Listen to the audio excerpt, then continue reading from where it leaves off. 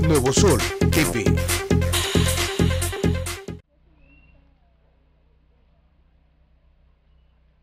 Alrededor de las 11.30 horas del pasado viernes 1 de junio, se suscitó un incendio de considerables magnitudes en una maderería ubicada en la avenida Lázaro Cárdenas del poblado de Nanecuilco, en donde todo comenzó al parecer por un cortocircuito en la instalación eléctrica de dicho establecimiento, lo que desencadenó en el inicio del siniestro.